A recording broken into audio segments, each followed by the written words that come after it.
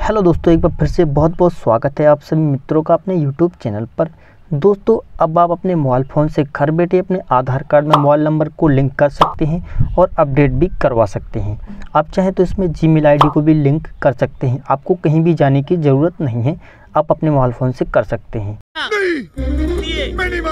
तो चलिए दोस्तों, हम आपको इस प्रोसेस के बारे में बता देते हैं कि आपको क्या क्या करना है।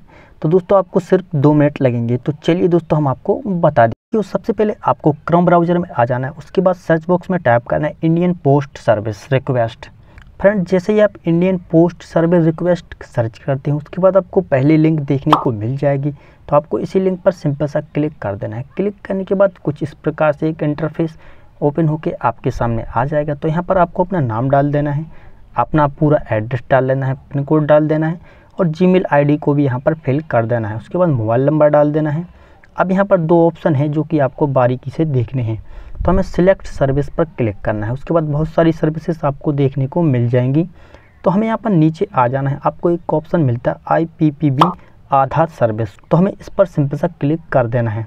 क्लिक करने के बाद आपको नीचे यहाँ पर सिलेक्ट कर लेना है कि आपको पाँच साल के बच्चे का आधार इनरोलमेंट करना है या आपको मोबाइल नंबर अपडेट या जीमेल आईडी को लिंक करना है। तो हमें सेकंड ऑप्शन को चूज़ कर लेना है। उसके बाद दोस्तों आपको रिक्वेस्ट ओटीपी पर सिंपल सा क्लिक कर देना है।